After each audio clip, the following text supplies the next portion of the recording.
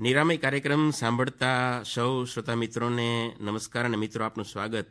મિત્રો, શરીરમાં દેખા દેતા અનેક રોગોમાં જે વિવિધ અંગો આપણે ત્યાં કામ કરી રહ્યા છે અંગોમાં પડતી ખામીને હિસાબે થતા રોગો એ મહત્વના રહેતા હોય છે. ખાસ કરીને આપણા શરીરમાં હૃદય, ફેફસું, લીવર, કિડની આ બધા અંગો એવા છે કે જે આપણા શરીરને સતત અને સતત કાર્યરત રાખે છે. ટ્વેન્ટી ફોર બાય સેવન કામ કરે છે એમ કહીએ તો ખોટું નથી. એ અંગોમાં પડતી કોઈ મુશ્કેલીને કારણે થતા રોગો અને એના ઈલાજ નિવારણની વાતો એ આપણા કાર્યક્રમમાં કરતા હોઈએ છીએ. મિત્રો, આજે આપણે કિડનીના રોગો, એની વિવિધ લાક્ષણિકતા, એના કારણો અને એ રોગોમાં હોમિયોપેથી સારવાર કઈ રીતે મદદરૂપ થઈ શકે એની કેટલીક અગત્યની વાતો આપની સમક્ષ રજૂ કરશું. આ માટે અમે આમંત્રણ આપેલ છે રાજકોટના જાણીતા નિષ્ણાંત હોમિયોપેથ કે જેમણે એમડી પણ કરેલું છે તેવા ડૉક્ટર મૃગાંક મેઘાણી સાહેબને. ડૉક્ટર મૃગાંક સરનો બહોળો અનુભવ છે, આ હોમિયોપેથી પ્રેક્ટિસનો. સાથે તેઓ પારોલ યુનિવર્સિટી સંલગ્ન રાજકોટ હોમિયોપેથિક મેડિકલ કોલેજમાં લેક્ચરર તરીકે પણ ફરજ બજાવી રહ્યા છે અને આ ઉપરાંત હોમિયોપેથિક ક્ષેત્રમાં વધુ પ્રદાન આપી શકાય માટે આ જ વિષયો અંતર્ગત પીએચડી પણ કરી રહ્યા છે. આપણે એમને પહેલાં આવકારીને પછી આ કિડનીના રોગોની અને હોમિયોપેથી સારવારની વિગતો સાંભળીએ. નમસ્તે ડૉક્ટર મૃગાંક સર આપનું સ્વાગત છે. નમસ્તે દત્તા સાહેબ. સાહેબ સૌથી પહેલાં તો એ વાત આપની પાસેથી જાણીએ કે કિડનીના સામાન્ય કયા કયા રોગો આપણા સમાજમાં જોવા મળે ને ઘણી વખત કિડનીના કે પેશાબના રોગોમાં આપણા શ્રોતાઓમાં ઘણી ગેરસમજ પ્રવર્તી હોય છે. તો એની પણ થોડીક વાત કરો. આપે જે પ્રશ્ન પૂછ્યો એ બહુ જ યોગ્ય છે. સૌથી પહેલા તો એ સમજવાનું છે કે કિડનીના બધા જ રોગો પેશાબના રોગો નથી હોતા અને પેશાબના બધા જ રોગો કિડનીને હિસાબે નથી હોતા. કિડની આપણા શરીરનું એક એવું અંગ છે કે જે રુધિરને એટલે કે લોહીને પ્યોર કરે છે એને સાફ કરે છે એક ગરણી તરીકેનું કામ કરે છે. જે દ્રાવ્ય કચરાઓ છે એને લોહીમાંથી જુદા પાડવાનું કામ કિડની કરે છે. એટલે કિડનીના રોગો અને પેશાબના રોગો. કિડની એકવાર રુધિરને સાફ કરી નાખે પછી જે દ્રાવ્ય કચરો વધે એને પેશાબ માટે શરીરમાંથી બહાર કાઢતું હોય છે. એટલે કિડનીની નીચેનો પણ એક ભાગ છે જેને અમારી ભાષામાં યુરેટર એટલે મૂત્રવાહિની યુરિનરી બ્લેડર એટલે મૂત્રાશય અને એનાથી આગળ યુરેથ્રા એટલે મૂત્ર નલિકા કે જેનાથી એક્સટર્નલ એન્વાયરમેન્ટમાં આપણે બહાર મૂત્રનો ત્યાગ કરતા હોઈએ છીએ. એટલે બે ડિવિઝન્સ છે કે આઈધર તમારી કિડની પોતા અફેક્ટેડ છે એને પોતાને રોગ છે ઓર એનું કામ ઓકે થઈ ગયું છે એનાથી નીચેના ભાગમાં કાંઈ પણ રોગ છે. હવે એમાં બે વસ્તુ હોઈ શકે કે બધું જ પ્રોપર ચાલે છે યુરિનનું એટલે કે પેશાબનું ફોર્મેશન પણ નોર્મલ છે એનું એક્સક્રિશન એટલે કે બની ગયા પછી બહાર ફેંકાવાની પ્રક્રિયામાં ક્યાંક અવરોધ છે. જે આપણા સમાજમાં આપણે એક ઉંમર ક્રોસ કરી ગયેલા પુરુષોમાં ખાસ કરીને જોતા હોઈએ છીએ જેને આપણે પ્રોસ્ટેટના રોગો તરીકે ઓળખતા હોઈએ છીએ. જેમાં કિડનીનો કંઈ રોલ હોતો નથી પણ ખાલી ફોર્મ થઈ ગયેલું બની ગયેલું યુરિન બહાર ફેંકી શકાતું હોતું નથી અથવા એમાં અવરોધો ઊભા થયેલા હોય છે. એટલે એમાં કિડનીનો કંઈ રોલ નથી. કિડનીનો બધું જ નોર્મલ હોવા છતાંય યુરિન એટલે કે પેશાબ બહાર ફેંકી શકાતો હોતો નથી. વારંવાર જવું પડે અટકીને આવે એ બધા જુદા પ્રશ્નો છે. એ સિવાય જે આપણે આપણી લોકાલિટીમાં જોઈએ કે ભૌગોલિક વિસ્તાર પ્રમાણે જોઈએ તો આપણે સોલ્ટ ઝોનમાં આવીએ છીએ કે આપણે ત્યાં ક્ષારનું પ્રમાણ પાણીમાં ભૌગોલિક રીતે વધુ છે. એટલે ઓલ ઓવર આખા વિશ્વમાં જોઈએ તો સૌરાષ્ટ્રને ઇવન એલાઇડ સાયન્સ એટલે કે એલોપેથિક સાયન્સના નિષ્ણાતો પણ એક લેન્ડમાર્ક તરીકે જુએ છે કે અહીંયા પથરીના રોગો મેક્સિમમ જોવા મળે છે આપણા વિસ્તારમાં. બરાબર. કારણ કે આપણા પાણીની સાંદ્રતા ક્ષારની દ્રષ્ટિએ બહુ વધુ હોય છે. હવે પથરી એ પર્ટિક્યુલરલી કિડનીને અફેક્ટ કરતો રોગ છે કે પથરી જો થાય અને એ યુરિનનું ફોર્મેશન પણ અટકાવી શકે અને ફોર્મ થયેલા યુરિનને બહાર જતું પણ રોકી શકે. જો એવું કંઈ થાય તો કિડનીનું નોર્મલ ફંક્શનિંગ ડિસ્ટર્બ થાય એ ડિસ્ટર્બ થાય તો જેને આપણે ભવિષ્યમાં આનો ખૂબ આગળનો ભવિષ્યકાળ તરતનો નહીં હું. ચોક્કસ જાણ કરીશ કે બધા જ પથરીથી ડાયરેક્ટ કિડની ફેલ થઈ જાય એવું જરૂરી નથી. પણ એના અમુક સ્પેસિફિક ટાઈપ્સ છે જેને અમારી ભાષામાં સ્ટેગોન સ્ટોન કે છે. કે એ મોટી થતી જાય પથરી ખૂબ મોટી થતી જાય અને ફાઇનલી કિડની ગાળવાની પ્રક્રિયા જ ના કરી શકે એ સ્ટેજે પહોંચાડી દે. એમાંથી કિડની ફેલ થઈ શકે. અધરવાઇઝ બધી પથરીમાંથી પણ કિડની ફેલ થાય એવું હોતું નથી. આ ખૂબ ઉપયોગી વાત આપે કરી કે કિડનીના રોગો મૂત્રાશયના રોગો આ બધા અલગ અલગ હોય છે અને એના નિષ્ણાંતો પણ જુદા જુદા હોય. જેમ આપણા એલોપેથીમાં એક સિસ્ટમ છે કે દરેક અંગ અને દરેક અંગની પ્રક્રિયાઓના નિષ્ણાંત જો હોય તો એ યોગ્ય સારવાર કરી શકે. સાહેબ હવે મુખ્ય વાત એ છે કે કિડનીને લગતા રોગો કઈ રીતે આપણને ખબર પડે? એટલે કે એના લક્ષણો કયા કયા? અને એના મુખ્ય કારણો આપની દ્રષ્ટિએ કયા કયા? લક્ષણોમાં જેમ આપણે બેઝિક વાત કરીએ એમ જો પેશાબના પ્રશ્નો હશે તો પેશાબમાં બળવું વારે વારે જવાની ઈચ્છા થવી ગયા પછી પણ સંતોષ ના થવો પેશન્ટને એવું લાગ્યા કરે કે હજી જવું પડશે. કમ્પ્લીટ મૂત્રાશય એટલે કે બ્લેડર ખાલી નથી થયું એવું સેન્સેશન આવ્યા કરતું હોય એ બધા પેશાબને લગતા રોગોના પ્રશ્નો છે. કિડનીના રોગોમાં મુખ્યત્વે જેને આપણે લેબોરેટરી ઇન્વેસ્ટિગેશન્સ કહીએ એનાથી આપણે વધુ સારી રીતે એને આઈડેન્ટિફાય કરી શકતા હોઈએ છીએ. એનું મુખ્ય માર્કર જેને કહી શકાય એ છે સિરમ ક્રિએટિનિન. કે સિરમ ક્રિએટિનિન લેવલ યુઝ્યુઅલી એક પોઈન્ટ બેથી એક પોઈન્ટ ચાર એને હાયર બોર્ડર આપણે માનતા હોઈએ છીએ. એ જો વધુ આવે તો એ ઇન્ડિકેટ કરે છે કે આપણી કિડનીનું કામ કરવાનું ઓછું થઈ ગયું છે. એ સિવાય બીજા પણ માર્કર્સ છે જેમ કે serum urea serum uric acid બીજા મિનરલ્સ છે સિરમ કેલ્શિયમ સિરમ પોટેશિયમ એ બધા. બહારની દ્રષ્ટિએ જોઈએ કે દર્દીને પોતાને કેવી રીતે ખબર પડે? તો એમાંના કેટલાક મુખ્ય લક્ષણો છે કે સોજા આવવા. સ્પેસિફિકલી અમારી ભાષામાં કહીએ તો પીટિંગ ઈડીમાં કે જ્યાં દબાવો તો અંદર ખાડો પડે એવા સોજા આવે. ખાસ કરીને આંખની નીચેના ભાગે, ઓર આખા ચહેરાના ભાગે અને પગમાં ગોઠણથી નીચેના ભાગે તમે દબાવો અને ખાડો પડે એ ટાઈપના સોજા હોય, તો એ કિડનીના ફેલ થવાના કે કિડનીને નુકસાન થયું છે એ પ્રકારનો સોજો ખાસ ઇન્ડિકેટ કરે છે. બરાબર. એટલે એના પરથી આપણને ખ્યાલ આવે કે હવે આપણે આ પ્રકારના જે કંઈ નિદાન છે ટેસ્ટ કરાવી અને યોગ્ય ડૉક્ટરની સારવાર લેવી જોઈએ. ડૉક્ટર મૃગાંક સર, હવે આપની પાસેથી ખાસ વિગત એ મેળવીએ કે વર્ષો જૂનું આપણે ત્યાં કહેવાય છે કે prevention is better than cure તો મુખ્ય વાત એ છે કે કિડનીના રોગો અટકાવવા રોગ ન થાય એ માટેની કાળજીઓ આ બધું આપની દ્રષ્ટિએ કઈ રીતે? જી prevention is always better than cure જી. ઘણી બધી વાર અને હું મુખ્યત્વે એવું કહીશ કે આપણે અવોઇડ કરતા હોઈએ છીએ જ્યાં સુધી આપણને તકલીફ પડે એ લેવલના પ્રોબ્લેમ જનરેટ ના થઈ જાય ત્યાં સુધી.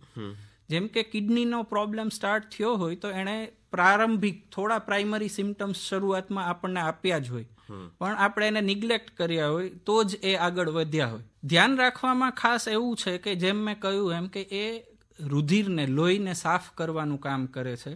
તો જે કોઈ પણ મોડથી આપણે લોહીમાં કચરો ઉમેરી રહ્યા છીએ એ અવોઇડ કરવાની ખાસ તો જરૂર છે. એ ખોરાકથી હોય દવાની દ્રષ્ટિએ હોય ઇવન તમે જો એવી પોલ્યુટેડ એરમાં પણ રહ્યો છો તો એ બધું ફાઇનલી આપણા લોહીમાં જવાનું જ છે. બરાબર. બીજી વસ્તુ જે આજના સમાજ માટે ખાસ જરૂરી છે એ છે વોટર ઇન્ટેક હમ. લોકો દિવસે ને દિવસે વધુ ને વધુ વ્યસ્ત થતા જાય છે. અમે હોસ્પિટલોમાં પણ જોઈએ છીએ કે અમે પૂછીએ કે તમે દિવસનું કેટલું પાણી પીઓ છો? તો એમને યાદ કરવું પડે કે અમે ત્રણ ચાર ગ્લાસ પીતા હોઈશું. જ્યારે નોર્મલ એડલ્ટે કે પુખ્ત વયના માણસે ઓન એન એવરેજ ત્રણથી ચાર લીટર પાણી પીવું જોઈએ. જે કિડનીના નોર્મલ ફંક્શનિંગ માટે જરૂરી છે. બરાબર. બીજું કે બહુ વધુ પડતી સાંદ્રતા વાળા જેને ખોરાકો કહેવાય ઓલરેડી આપણું પાણી ક્ષારવાળું છે જ તો બહુ જ ક્ષારવાળા ખોરાકો જે બનતા હોય એને અવોઇડ કરવા જોઈએ. અને જ્યારે પણ પેશાબની અર્જ આવે અને પોસિબલ હોય ત્યારે પેશાબ કરી આવવું જોઈએ. આપણે ત્યાં એવું માન્યતા છે કે રોકી રાખવું રોકી રાખવું. એ બધું લાંબા નહીં તો ટૂંકા ગાળે અને ટૂંકા નહીં તો લાંબા ગાળે શરીરને અને આખી સિસ્ટમને અફેક્ટ કરતું હોય સાચી વાત છે. એટલે આ બધી જે પ્રિવેન્શનની બાબતો છે તકેદારીઓ છે એ દરેક દર્દીએ રાખવી જરૂરી છે. દર્દ આવે એને અટકાવવા માટે. પણ હવે આપણે સાહેબ મુખ્ય વાત એ કરીએ કે અનેકવિધ પેથી આપણે ત્યાં ઉપલબ્ધ એલોપેથી હોય આયુર્વેદિક હોય કે હોમિયોપેથી હોય પરંતુ આપ એક હોમિયોપેથીના નિષ્ણાત ડૉક્ટર તરીકે વર્ષોથી સેવા બજાવો છો તો કિડનીના વિવિધ રોગોમાં હોમિયોપેથી સારવાર કઈ રીતે કેમ ઉપયોગી છે એની થોડીક વિગતે વાત કરો. ચોક્કસ સાહેબ. હોમિયોપેથીનો બેઝિક કન્સેપ્ટ જોઈએ તો અમે રોગને બે રીતે વિભાજિત કરતા હોઈએ છીએ. એક્યુટ ડિઝીઝીસ અને ક્રોનિક ડિઝીઝીસ. એક્યુટ એટલે કે જે હમણાં જ ટૂંકા સમયગાળામાં જ થયેલા રોગો છે. બરાબર. એ. અને ક્રોનિક દેટ મીન્સ લાંબા સમયથી જે આપણને થતા આવ્યા છે અને હવે પ્રોપર જેણે અંગને નુકસાન કર્યું છે સિસ્ટમને નુકસાન કર્યું છે. તો જેમ રોગની વ્યાખ્યા છે એવી જ ઉપચારની વ્યાખ્યા પણ આપણે સમજી શકીએ કે જે હમણાં જ થયેલા રોગો છે એની સારવાર પણ ટૂંકી ચાલશે અને તમે ઝડપથી તમારી સ્વસ્થતા કે હેલ્થ તરફ જઈ શકશો. બરાબર. જે ક્રોનિક છે એ લાંબા ગાળે થયેલું નુકસાન છે એમાં તમને રિવર્ટ બેક થતાં પણ ટાઈમ લાગશે. તો જે એક્યુટ ડિઝીઝીસ પોસિબલ છે આપણી કિડનીને લગતા પ્રશ્નોમાં એમાંના અમુક છે જેમ કે યુટીઆઈ જેને અમે કહીએ છીએ યુરિનરી ટ્રેક્ટ ઇન્ફેક્શન. બરાબર. સામાન્ય ભાષામાં આપણે એને ઉનવા કહેતા હોઈએ છીએ કે જે ઉનાળાના સમયે લોકોની વધુ ફરિયાદ હોય છે પણ એ રેગ્યુલર ટાઈમમાં પણ લોકોને રહેતું હોય છે. તો એના માટેની હોમિયોપેથીમાં બહુ સરસ દવાઓ છે એપિસ્મેલિફિકા છે કેન્થારિસ છે જે દર્દીના લક્ષણો ઉપરથી નિષ્ણાત હોમિયોપેથ નક્કી કરીને એને આપતા હોય છે. એના સિવાય જે મેં કહ્યું ક્રોનિક રોગો જેમ કે કિડની ફેઇલ થઈ જવી કિડનીમાં સોજો જેને ગ્લોમેરુલો નેફ્રાઇટિસ કે નેફ્રાઇટિસ એવું કહેતા હોઈએ છીએ તો જેમાં કિડનીને પોતાને નુકસાન થયું છે. આ રાતોરાત બનેલી ઘટના ના હોય એણે ટાઈમ લીધો હોય. તો એના જે કાંઈ પણ કારણો છે એ શોધી કાઢવા પડે. એ શોધીને એને દૂર કરવા પડે. અને જે દવાઓ જરૂર છે જીવનના ફેરફારો જરૂર છે લાઇફસ્ટાઇલ ઘણીવાર ચેન્જ કરવી પડે. બરાબર. બીજું કે કિડની એ સ્વતંત્ર રીતે કામ કરતું ઓર્ગન નથી. કિડની બીજા અવયવો ઉપર આધારિત કામ કરી રહ્યું છે. જેમ કે હૃદય એને પૂરતું લોહી પહોંચાડે તો કિડની પ્રોપર કામ કરી શકે. તો હૃદયના રોગો પણ કિડનીને અફેક્ટ કરતા હોય તો તમારે એ પણ ફાઇન્ડ આઉટ કરીને એ ઉપરથી દવાઓ નક્કી કરવી પડે જેને અમારી ભાષામાં અમે કન્સ્ટિટ્યુશનલ રેમેડીઝ કહેતા હોઈએ છીએ કે જે ખાલી કિડની નહીં એઝ એ હોલ આખા માણસને અફેક્ટ કરે અને એમાં રહેલા રોગોને ક્લિયર કરે. તો એવી અમારી અમુક દવાઓ છે જેમ કે લાઇકોપોડિયમ છે નેટ્રમ્યુર છે ફોસ્ફરસ છે એવી બધી દવાઓ ઇવન ફેલ થઈ ગયેલી કિડનીઓ કે જેમાં ક્રિએટિનિન લેવલ બહુ ઊંચા થઈ ગયા હોય એને પણ આપણે નીચા લાવી શકીએ છીએ. અને પેશન્ટને ડાયાલિસિસ કે જે બહુ જ ખર્ચાળ અને માનસિક રીતે ભાંગી પડે એવી સારવારની પદ્ધતિ છે એમાંથી પણ આપણે એને ઘણી બધી વાર બહાર પાછા લાવી શકતા હોઈએ છીએ. તો એ તો ખૂબ ઉપયોગી વાત છે કારણ કે હોમિયોપેથીની દવાઓ માત્ર કિડની કે એને નહીં પરંતુ સમગ્ર બંધારણને અસર કરે ને સમગ્ર દર્દીની સારવાર કરે એમ આપણે કહી શકીએ. જી ચોક્કસ. કારણ કે કિડની વન્સ અગેન હું રિપીટ કરીશ કે એ એવું એક ઓર્ગન છે કે એકવાર જો એમાં પરમાનન્ટ તમને કંઈ પણ રોગ આવ્યો છે તો એની સારવાર તમારે જીવો ત્યાં સુધી લેવી પડે એવી એની વ્યાખ્યા છે. બરાબર. જો તમે હોમિયોપેથીની મદદથી કે જે એકચ્યુઅલી પ્રાકૃતિક સારવાર પદ્ધતિ છે એને તમે રિવર્સિબલ ડાયરેક્શનમાં લઈ જાઓ અને દર્દીને એમાંથી બહાર લાવી શકો તો તમે સમજી શકો છો કે સામાજિક આર્થિક માનસિક અને પારિવારિક જેમ મેં કહ્યું ડાયાલિસિસ માટે તો તમે નોટિસ કરો તો એ ફેમિલીને અઠવાડિયામાં ત્રણ વાર હોસ્પિટલે જઈ આખો દિવસ કે આઠ કલાક કે દસ કલાક ત્યાં વિતાવવાના હોય છે. અને એનો અર્થ એવો નથી કે બહાર નીકળે ત્યારે દર્દી સો ટકા એની ફંક્શનાલિટીમાં પાછો આવી ગયો હોય.